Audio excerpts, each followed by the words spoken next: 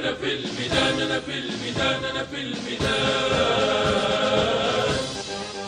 أنا في الميدان واقف السلام عليكم ورحمة الله وبركاته. أهلا وسهلا بحضراتكم. وحلقة جديدة من ألوم كملين لا من الميدان. هنقدم النهاردة في حلقة الميدان سر مهم جدا عن الصورة دي.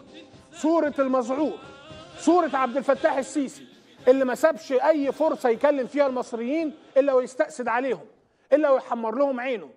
النهاردة عينه حمراء بس مش علشان بيخوف المصريين علشان هو اللي خاف علشان هو اللي وقف قدام كاميرا ومذيع وبقى بالمنظر ده.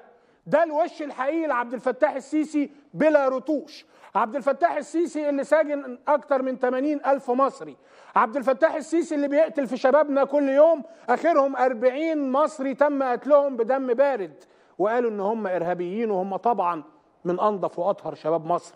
عبد الفتاح السيسي اللي بيتحامى ورا مخابراته وق- وقواده ورجال مخاب... رجال مخابراته ورا إعلاميين والناس اللي بتحط له الميك اب النهارده ما نفعوش كل دول. ولا واحد قدر يجمل صورة عبد الفتاح السيسي.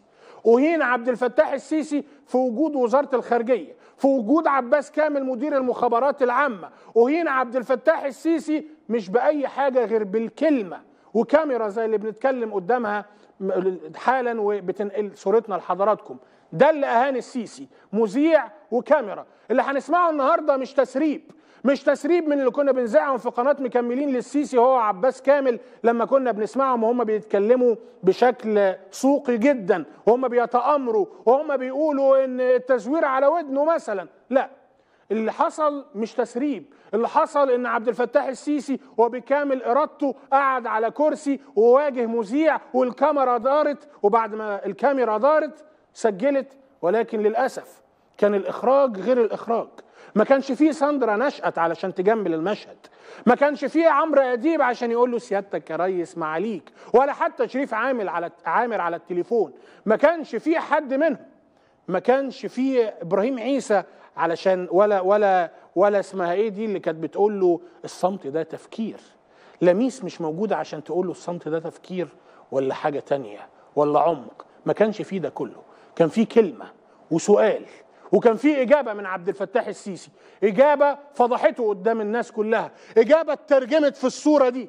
صورة عبد الفتاح السيسي المذعور بلا مكياج بلا رتوش. الحقيقة العارية بتتمثل في الصورة دي. الحقيقة العارية. عبد الفتاح السيسي كما لم تشاهده من قبل. عبد الفتاح السيسي وهو أمامك ذليل بشكل مهين.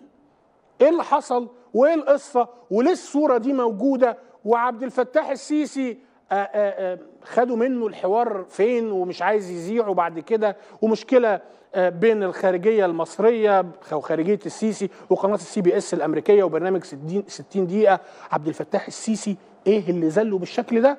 ده اللي هقوله لحضرتك بعد فاصل قصير جدا. احكي لك الحكاية من طقطق لسلام عليكم.